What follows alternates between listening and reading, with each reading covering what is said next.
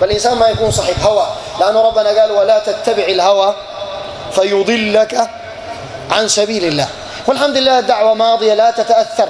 والله والقطر ده ماشي. براهم في ناس بيتلموا. نحن حصل فتحنا الباب في واحد براو بيكسر راسه القزاز كوشو بيقع أنا ولا شنو يعني؟ قدر ما نجره يقع. خليه خليه أو ذاك اللي اسمه مين؟ خليفة ذاك. وين واسع أين هو؟ وأين دعوته؟ أنا بسأل. وينه؟ مش خرج وجاط وحمل حملته الأحقاد والبغضاء. كان بيقول لي ليه أي حلقة أبو بكر وشهاب؟ نحن وين؟ هو بيقول كده. حملته الأحقاد والأباطيل والحسد إلى أن ذهب. قال النبي عليه الصلاة والسلام إياكم والحسد أو إياكم والبغضاء. وحذر النبي عليه الصلاة والسلام من الحسد ومن البغض. وأنه يأكل الدين في قلب العبد. كما تأكل النار الحطب أو العشب. تتمنى لأخوك الخير. ما له خليه يتكلم. الإمام الثوري قال وددت لو أن الناس استقاموا على عبادة ربهم وأن جسمي قرض بالمقاريب السلف ما كان داير يصوم أصلا. قال بس أنا داير الناس اللي يعبد ربنا تمام. أنا ما مهم. أسهر. إن شاء الله يقطعوني بالمقاريب بالمقاريد. ده السلف كانوا كده. لكن الإنسان بدافع حبه للظهور يكذب ويحقد على إخوانه ويشمت فينا الأعداء من الحزبيين وأنصار السنة والسجمانين والرمدانين ليظهر هو الإمام مالك لما صنف الموطأ صنف عدة من الناس موطئات فناداه الخليفة وكان مقربا إليه آنذاك وأخبره بأنه سيحرق جميع الموطئات ويترك موطأ الإمام مالك. فقال له كلمة لو وعاها هؤلاء البشر ووعيناها نحن لانصلحت أحوالنا. قال ما كان لله خالصا. فهو الباقي. والله ما تفلح. يتكذب للعلماء و أو دي كل مرة بيجي شاكوش زي ده. كل مرة. ما هو ذاك نزار مين ذاك؟ كل مرة جاري جايب ورق. لغى زكاني فلان هذه التزكيه وما في. خالص.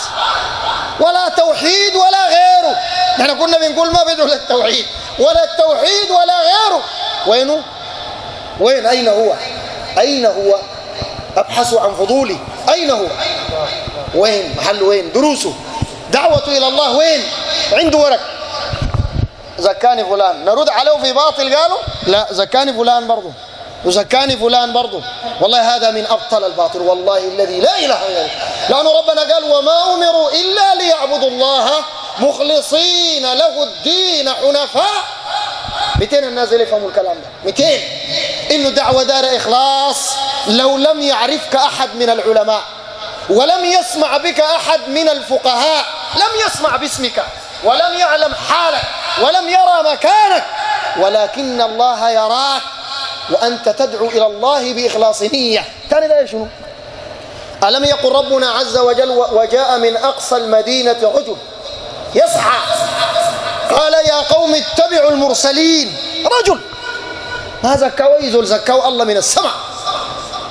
الرسل دي ذاته ما كانوا بيعرفوا ولا زكوا. الوقت ذاك إلى أن جاء. قال يا قوم اتبعوا المرسلين. اتبعوا من لا يسألكم أجرا. وهم مهتدون. قال أنت آمنت؟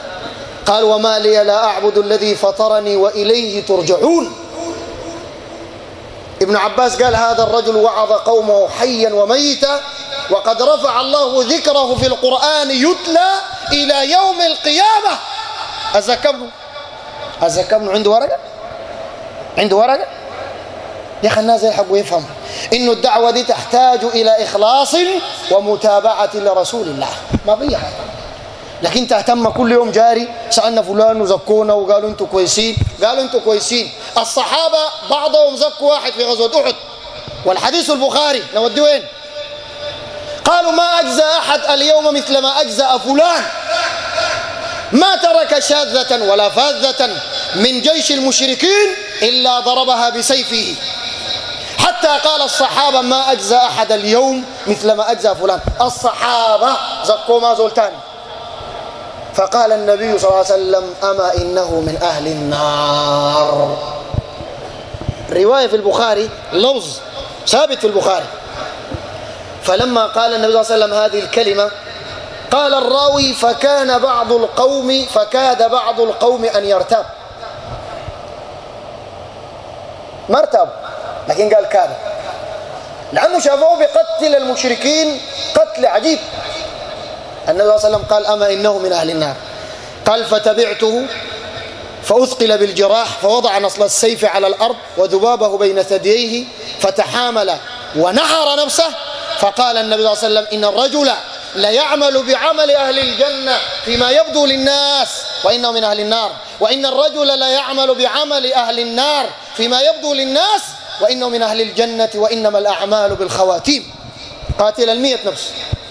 قاتل المئة نفس. ظاهر العمل ده عمل من أعمال أهل النار. لأن ربنا قال ومن يقتل مؤمنا متعمدا فجزاؤه جهنم خالدا فيها. وده قتل مئة نفس. ظاهر العمل عمل أهل النار. ولكن غفر الله له لما علم من صدق نيته وإخلاص سريرته لله وأدخله الله الجنة رغم أنه قتل مئة نفس. فما تهتم بالتزكيات. إياك. زكوه خير وبركة. تلك عاجل بشرى المؤمن. لكن ما تمشي تفتشها وكل مرة مطلع ورقة. صفراء بيضاء حمراء. ورافع. موقع راية السلف. تزكيات العلماء لفضيلة الشيخ بتاع إلى آخره. هذا من أبطال الباطل. اشتغل دعوة إلى التوحيد. الله الله الله يعلمك براو إن شاء الله ما في زول يعرفنا أبدا ليوم القيامة. لكن ربنا يعرف. ربنا يعرف. هذه نصيحتي لنفسي ولإخواني ولهؤلاء الشباب. و